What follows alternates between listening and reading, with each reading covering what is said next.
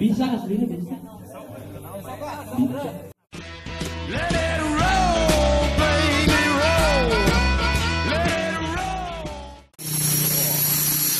Lengkap.